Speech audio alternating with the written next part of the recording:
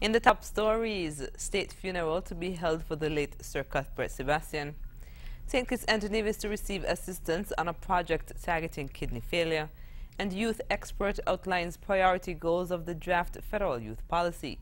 The details on these stories and more after the break. Hello and welcome to the ZIZ Channel 5 newscast. I'm Kyla Berridge. Former Governor General Sir Cuthbert Montrevel Sebastian, GCMG, OBE, MD, ED, KSTJ, will be given a state funeral with full military honors on Monday, 10th April. The funeral will be held at the St. George's Anglican Church on Cayon Street at 1.30 p.m. Interment will be at the Springfield Cemetery. Monday 10th April has been declared a national day of mourning by the government and a national half holiday for the public and private sectors has been proclaimed by the Governor General, His Excellency Sir S.W. Tapley Seaton, DCMG CVO QCJP, to honor the life and contribution to the nation of the late Sir Cuthbert Sebastian. The body of Sir Cuthbert will lie in state at Government House from 8.30 a.m. to 12 p.m. on 10th April for public viewing, and all flags on government buildings will be flown at half-staff on the same day. A book of condolences will be opened at government headquarters on Friday 7th April from 8 a.m. to 4 p.m.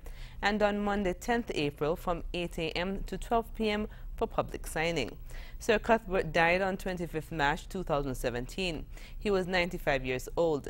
He has served in St. Kitts, Nevis and Anguilla in a number of capacities, including pupil teacher, senior dispenser, medical superintendent, and obstetrician gynecologist. He was Chief Medical Officer of St. Kitts and Nevis from 1980 to 1983. From 1962 to 1966, he pursued training at the Dundee Royal Infirmary, Scotland, in obstetrics and gynecology. The government continues to put emphasis on the health and well-being of all residents and citizens of St. Kitts and Nevis, as it will soon embark on a project that will target kidney failure. This is being done in collaboration with the Republic of China, Taiwan. During a check handing over ceremony on Wednesday, resident Taiwanese ambassador, His Excellency George Gawe Shu, announced that his government will assist the Federation on a renal failure disease control project starting in April. This support for the health sector was welcomed by Prime Minister Dr. The Honorable Timothy Harris, who said the issue of kidney failure is an area of significant concern. From April, further support will be coming to the health sector, and in particular those who are suffering from kidney ailments and related diseases.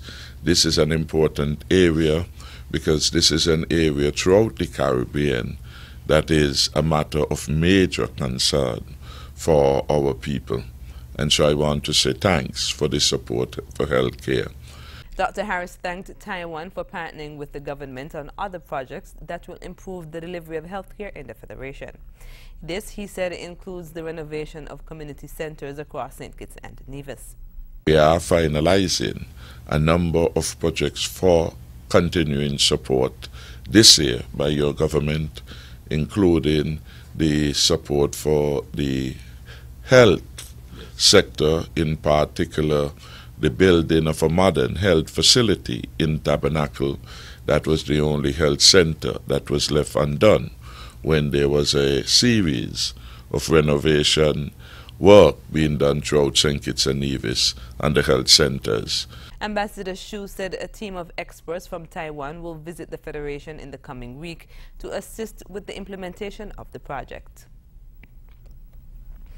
Youth expert Dwinette Eversley has noted that it is important to have priority goals so that persons focus on the action areas that are needed to protect young persons and advance the development of the youth. Ms. Eversley appeared on Working for You on Wednesday along with other youth officials where they updated the public on the development of the draft federal youth policy. She said that goals are set in order to obtain meaningful information as it relates to youth. We want to know how youth, young people, their state and their well-being and the impacts of development um, imperatives and, and initiatives in the areas of education, primarily in the area of economic participation, and it means how people participate in the economy, what opportunities and access are available. So employment, employability, entrepreneurship, equal opportunities. All of that is economic participation. She also spoke about the importance of health and well-being.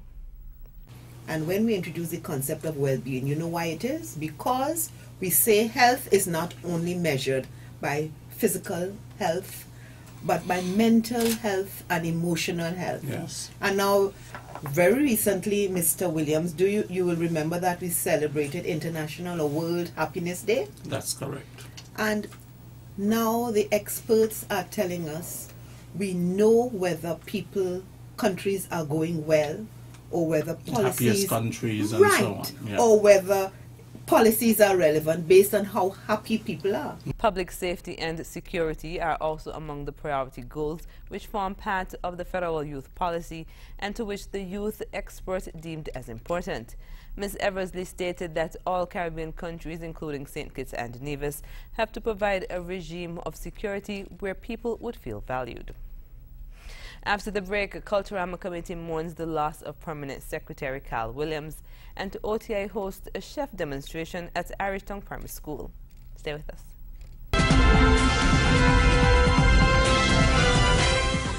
Premier of Nevis Honorable Vance Amory has expressed his dissatisfaction over the violent actions on the weekend that resulted in the death of Randall Chapman.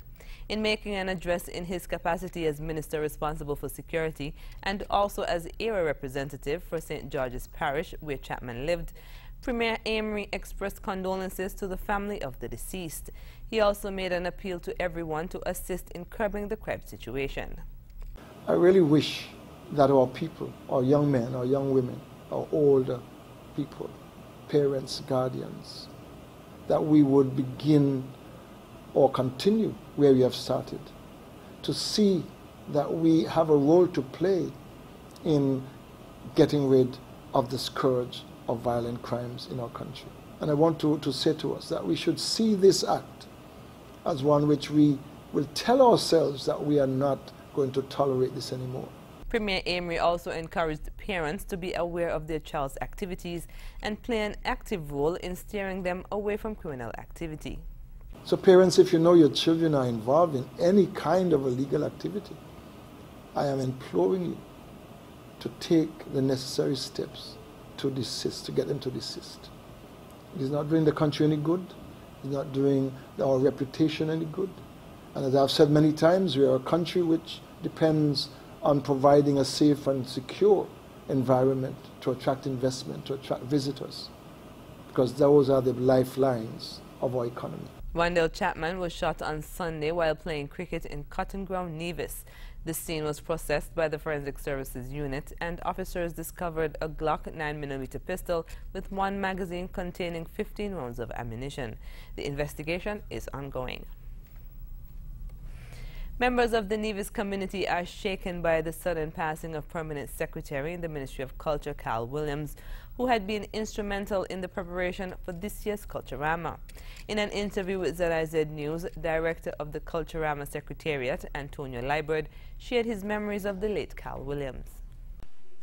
My memories of the late Cal Williams span over 50 years because we grew up together in the Gingerland area. In 2015, he was appointed permanent secretary, and uh, we started to interact together because at that point he had oversight of, of Culturama, and he would offer some very great suggestions um, as it regards to the development of culture and music and Culturama. Liburd said over the past few months, Williams introduced a number of initiatives for this year's edition of Culturama. Mr. Williams was quite passionate about um, Calypso. Um, and so over the last couple of weeks that he spent um, at the ministry, we were making plans to have a facilitator come to Nevis to conduct some Calypso writing workshops. Also, Mr. Um, Williams was, was, was very excited about Culturama 43 and he wanted to see a mega festival this year. And so we got together earlier this year and decided that we would refurbish the cultural village. Liburd said the passing of Williams came as a shock to him and the members of his committee. It was only last week himself and I, along with the architect, visited the cultural village to make final preparations in terms of the work that we are going to be doing there. I must say that the ministry and uh, the Nevis Cultural Committee, the Cultural Secretariat, we are deeply saddened by this sudden demise of our permanent secretary. Director of the Culturama Secretariat, Antonio Liburd. Students of Irishtown Primary School got a taste of the culinary ast on Thursday when the Ocean Terrace Inn organized a chef demonstration for the school. Here's more. Chef Larry Monrose brought his skills to Irishtown Primary as he showed the students how to prepare two dishes, a fish broth with mahi-mahi and Rice Krispies treats. Two students were chosen to be junior chefs and went through the steps of preparing the dishes guided by Monrose. At the end of it all, samples were distributed to the attendees. Principal at Irishtown Primary, Jean Nisbet Body, said the exposure to the culinary arts is a good experience for the students. Seeing that they are grade six students, they will be entering the high school. It will help them to choose subjects for them in that career path, food and nutrition, home, home economic management. They will be able to um, focus on those subjects in becoming chefs or working in any aspect of the hotel industry. Chef Monrose said he was happy to share his passion with the students.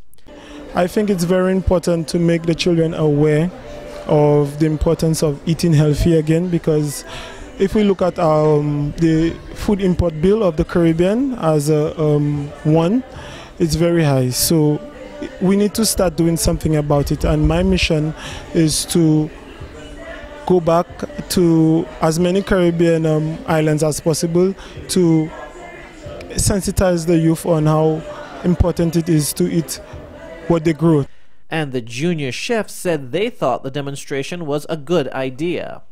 As we go up, we have we might not be living with our parents all the time who can cook, so we have to learn some ways to cook food for ourselves. So I think it's a good idea to bring the chef here. To encourage them to like help their parents cook and they will like feel to, to be a chef. The cooking demonstration falls under the Tourism Ministry's Tourism Awareness Program, where stakeholders reach out to the schools to raise awareness about the sector and its opportunities. A tourism official told us they hope to hold similar demonstrations in the future at other schools to expose more students to possible career paths within the hospitality sector. Jason Davis for ZIZ News. Coming up, St. Lucia experiences four bomb threats in three days. The details when we come back. Música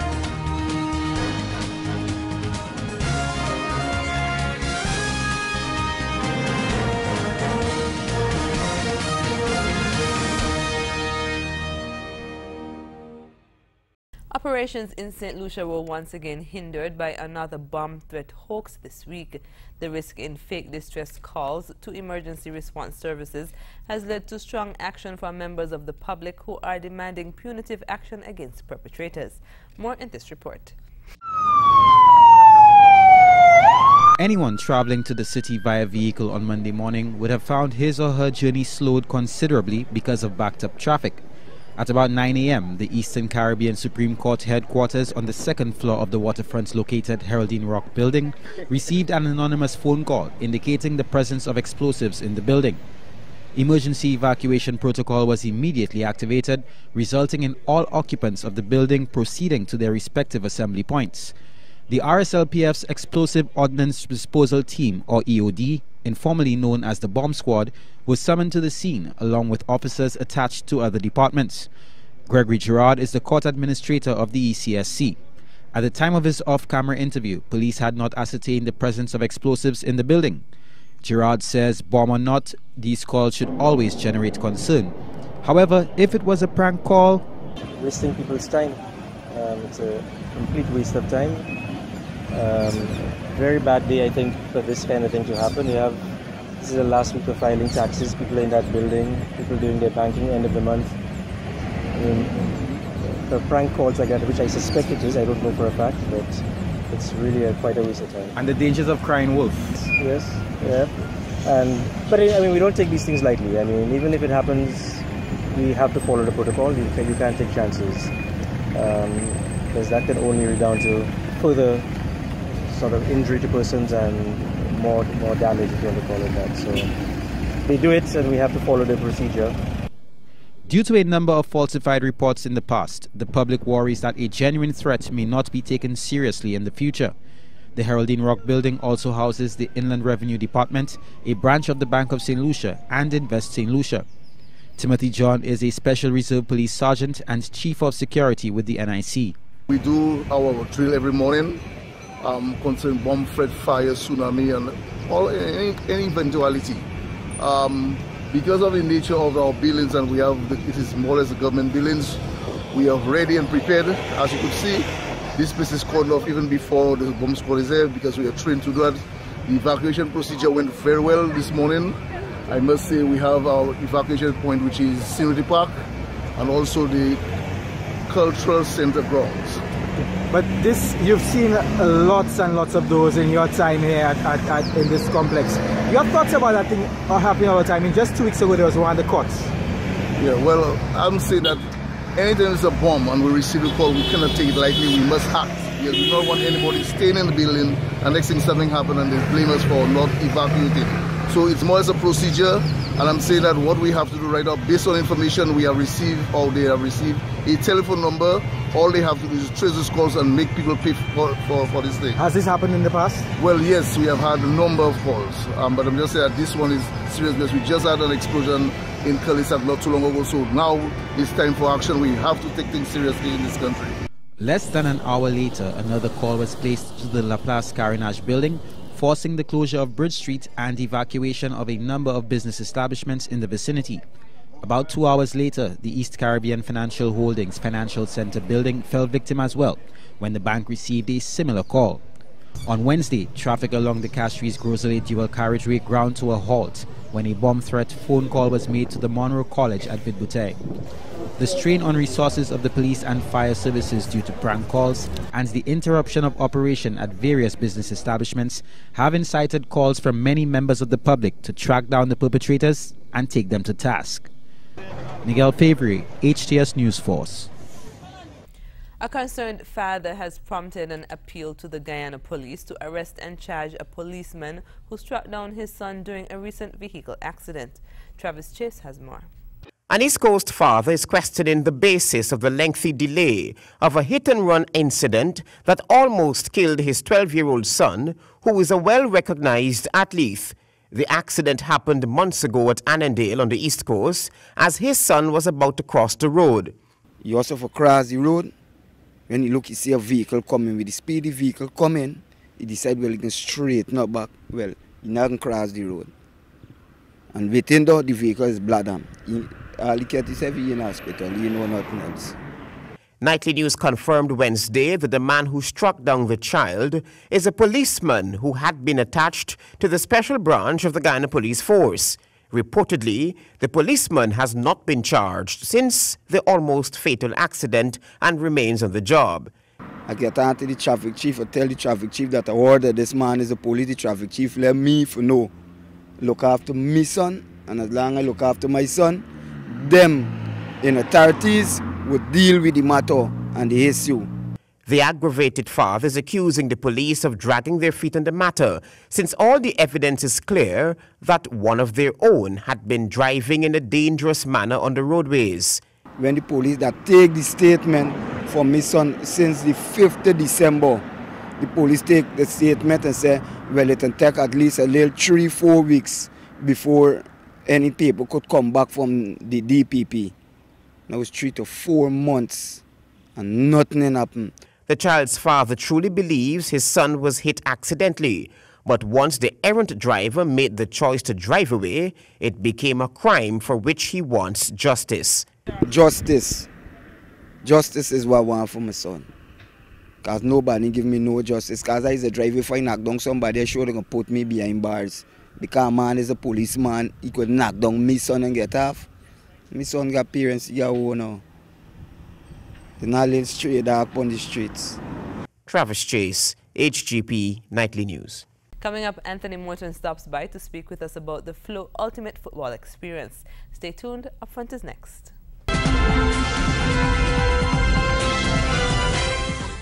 Hello and welcome to another edition of Upfront. I'm Carla Berridge and in the studios with me is Anthony Morton and he's the commercial manager at Flow. Hello and welcome to Upfront. Thank you, Carla. All right. Now you're here to speak with us about the Flow Ultimate Football Experience. That's correct. Tell us a little bit about that. It's a tremendous experience and it's really our pleasure on behalf of Flow to partner with a tremendous football organization like Manchester United to bring it to the Caribbean region on a whole the Flow Football Ultimate Experience is really about targeting the youth, ages 13 to 16, to see their skill level, test them, and to expose them to so much more. Uh, so on April 8th, we will be inviting 37 participants to take part in the Flow Ultimate Football Experience. Okay, so how does it work exactly? Great question. Mm -hmm. um, what we would have done, there would have been a registration process uh, with the endorsement of the Caribbean Football Union. Uh, we would have contacted the local teams who would have selected one participant to take part in this challenge, and on the 8th, those persons would be there. Okay, now what does the skill challenge entail? Um, as Manchester United is known for their football, mm -hmm. great organization, um, they would have trained local adjudicators to basically drill these um, participants on several skill sets to see who would be the best persons to qualify and represent St. Kitts and Nevis. Okay, so there are two winners. What will those winners receive? I love the question, and I'm sure the participants and the ultimate winner will too as well. Uh, two representatives, along with their coach, and a Guardian will be traveling down to Trinidad on May 7th to take part in the finals of the Ultimate Football Experience. Okay.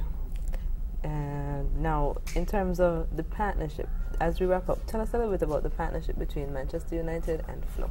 Well, before you wrap up, I do want to mention that once they would have made it to the finals in Trinidad, mm -hmm. um, there will be another finals, um, what would I say it, uh, challenge experience where the ultimate two winners from that uh, challenge in Trinidad will be traveling to England on the 21st of, um, of May to witness a game live with Manchester United and Crystal Palace and I don't think it gets any better. And this Sounds is at exciting. Old Trafford, mm-hmm. so it's uh, that's where the ultimate experience comes in. Okay. And um, you know, it's really about making sure that we do our best as a good corporate citizen to develop our youth and make them the best that they can be.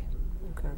Now, in terms of the partnership between Manchester United and Flow, tell us a little bit about that. Definitely. Um, we, we recognize as well as Manchester United that the commitment to our community and, and, development of our youths. So it was a natural marriage between the two organizations. Um, and this is one of many uh, engagements that have taken place through the region. In January, for example, the FA Cup toured the Caribbean. It culminated in the Cayman Islands with Dwight Yorke, an ambassador from Manchester United, would have made his presentation.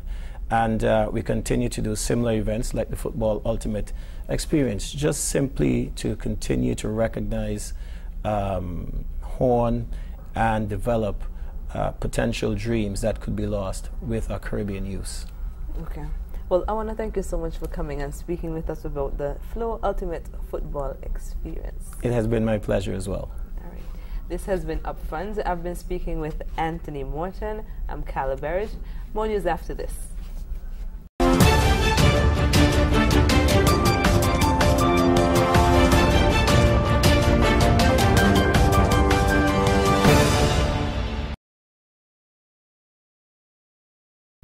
U.S. District Judge Derrick Watson granted a motion by the state of Hawaii to convert a temporary restraining order into a preliminary injunction.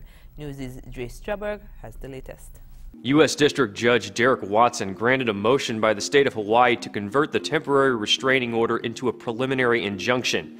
That means the revised travel ban is blocked indefinitely until further court action. President Trump's second executive order would temporarily ban travel from six Muslim majority countries and temporarily pause the U.S. intake of refugees. Unlike the previous ban, Iraq is not included, and green card holders and people with visas would be allowed entry. But Hawaii is arguing that the new order still violates the Constitution by discriminating against Muslims. Hawaii Attorney General Doug Chin even called it nothing more than Muslim Ban 2.0. Watson issued the original restraining order earlier this month, just hours before the new travel ban was set to go into effect. Shortly after, Trump called the ruling terrible and vowed to take the case to the Supreme Court if needed. A wealthy Colombian architect has been sentenced to 51 years in prison for the sexual assault and murder of a seven-year-old indigenous girl.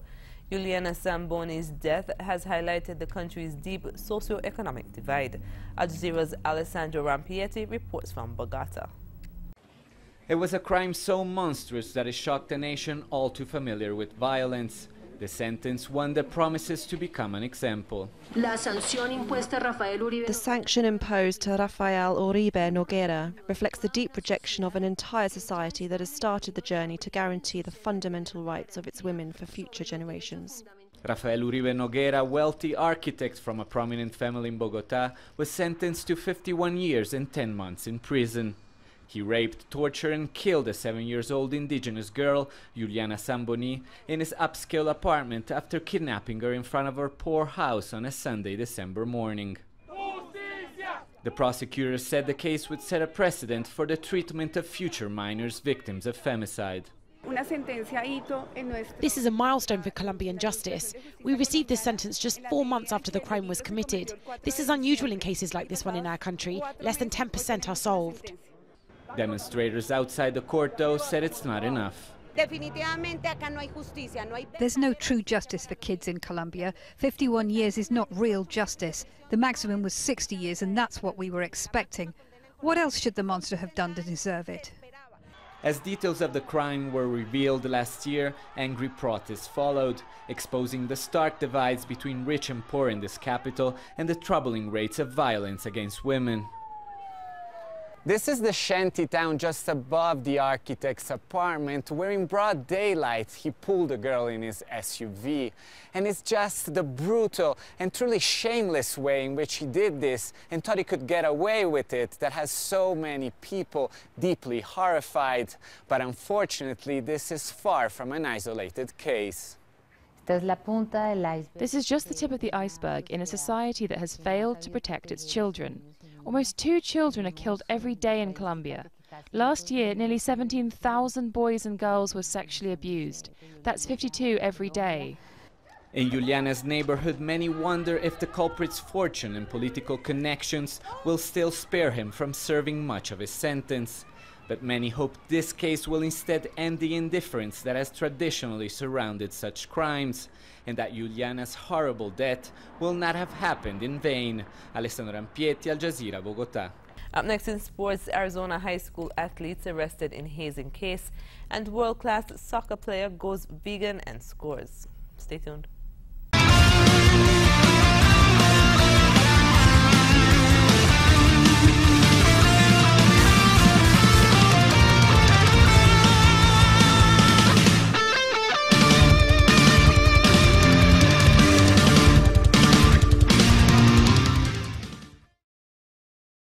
Members of the U.S. men's national hockey team are reportedly considering a boycott as a show of solidarity with the women's team.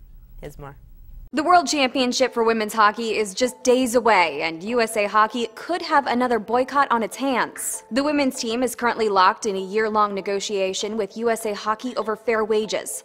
Lawyers for the players say they're only paid about $6,000 every four years. Without, quote, significant progress in those negotiations, the women won't play in the International Ice Hockey Federation World Championship. And an agent representing dozens of NHL players says the men's team could follow suit with a similar boycott of their championship in May. USA Hockey tried to find replacement players for the women's championship, but hasn't been successful. So its board went back to the negotiating table Monday, and an agreement still has yet to be made after the two sides met for eight hours. Fellow hockey players aren't the only ones lending support to the women's team. 16 U.S. senators released a letter to USA Hockey Monday urging it to end the wage dispute. The women's championship begins Friday.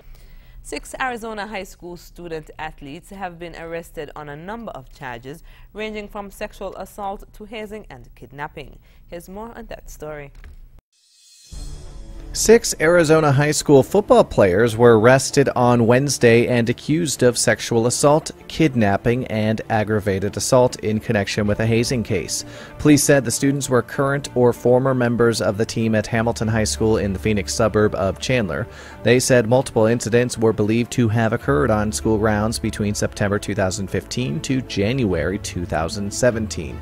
Five of the students attend Hamilton High School and all were juveniles at the time of the incidents. World-class soccer player and Sunderland striker Jermaine Defoe has scored big in a 2018 World Cup qualifier. More. Last Sunday, 34-year-old Sunderland striker Jermaine Defoe scored in England's 2-0 win over Lithuania in a 2018 World Cup qualifier. This added yet another gem to his abundant highlight reel this year. Despite his advancing age, Defoe has maintained his edge for club and country, scoring 14 goals in the English Premier League to go with his most recent international golazo. Defoe hopes to prolong his career by keeping his body in peak condition, which involves various recovery and diet techniques. Among cryotherapy treatment, massages, and realizing the importance of rest days, Defoe has also transitioned to a vegan diet. After his girlfriend convinced him to give it a try, he feels that he's adopted the lifestyle change successfully. He said, I don't find anything hard to give up as such because I know the feeling scoring goals gives me. When we come back, we'll have another look at the stories that made the headlines.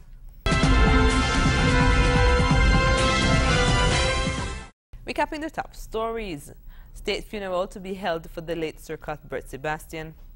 St. Kitts and Nevis to receive assistance on a project targeting kidney failure and youth expert outlines priority goals of the draft federal youth policy. And that's the end of the ZIZ Channel 5 newscast. Thank you for joining us. I'm Gala Verage. Goodbye.